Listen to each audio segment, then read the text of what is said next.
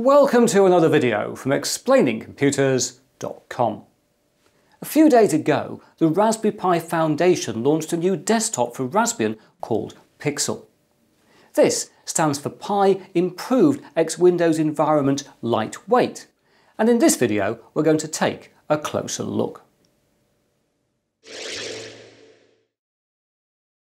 Right, there are two ways for us to get the Pixel version of Raspbian.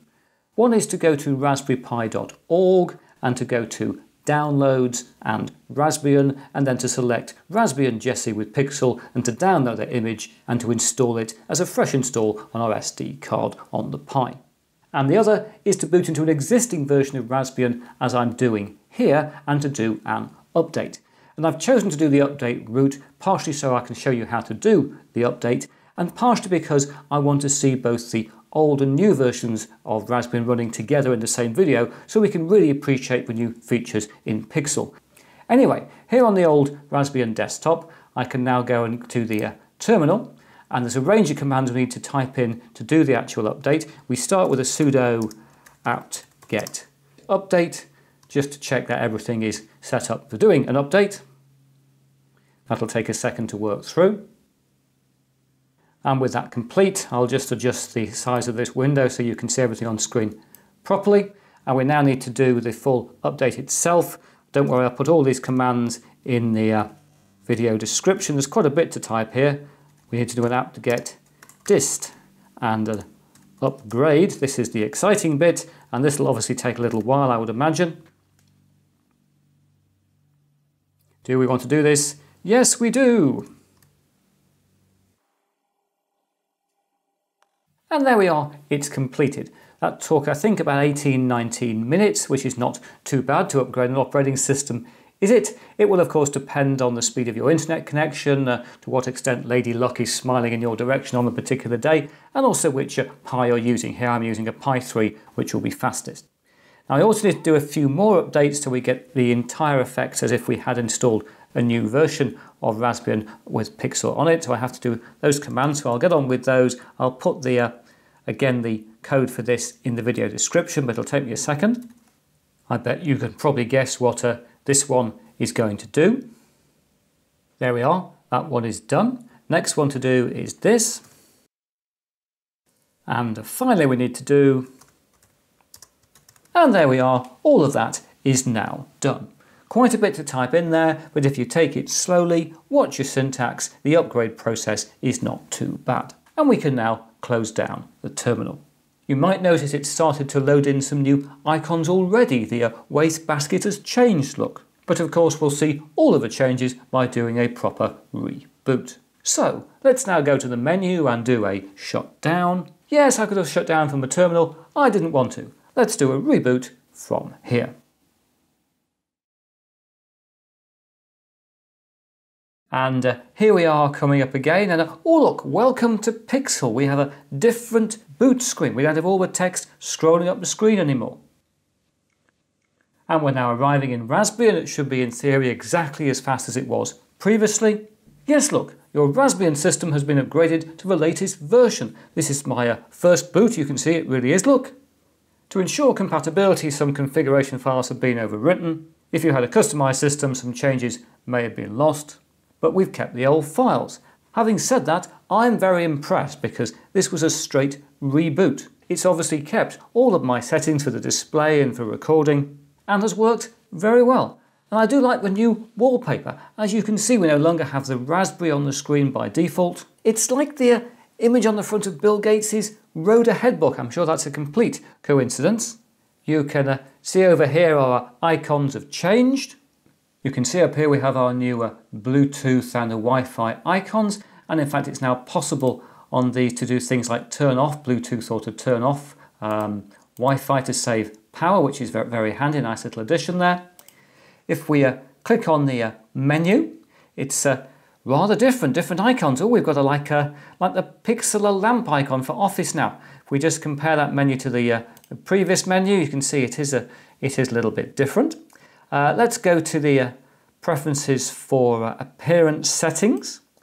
We've got one new desktop here, but I think we've got several others. We just click on, say, road there. What else have we got? I don't know. Um, lasers sounds interesting, doesn't it? Let's select lasers and uh, apply. Oh, yes. Oh, I like that better, I think, because it works better with my text colors on, on the screen.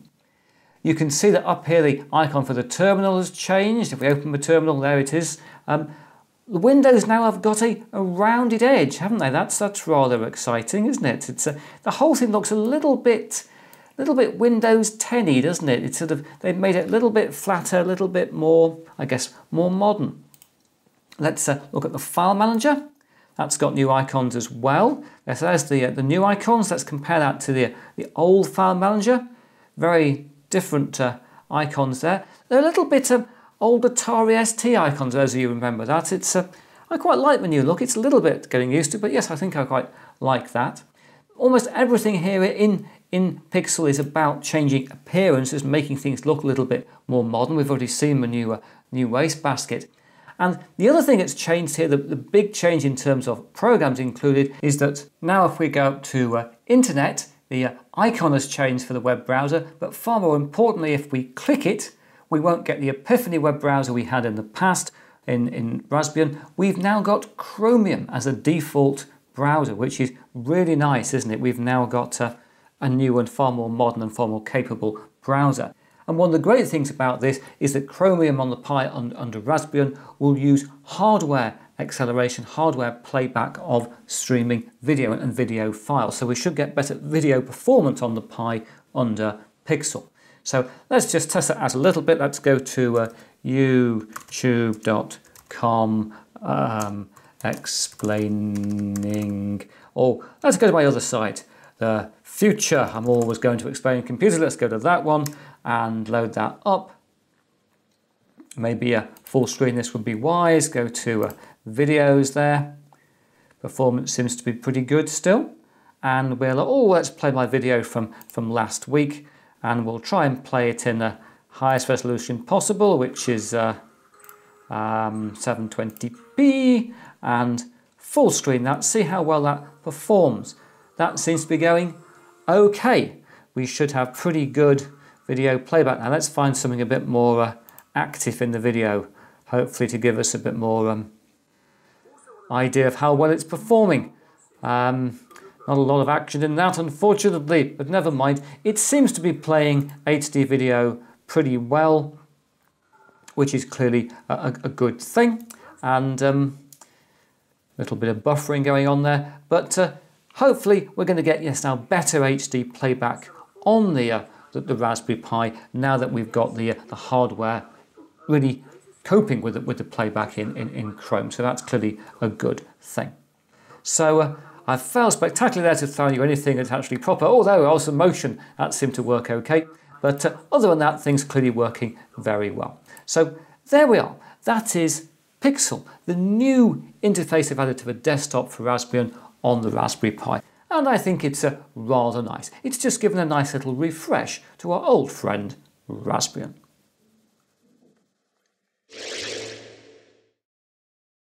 It's great to see Raspbian getting another update, and in particular one that makes it look like the modern and powerful operating system it most definitely is. But now that's it for another video. If you've enjoyed this, please press that like button. If you haven't subscribed, please subscribe, and I hope to talk to you again very soon.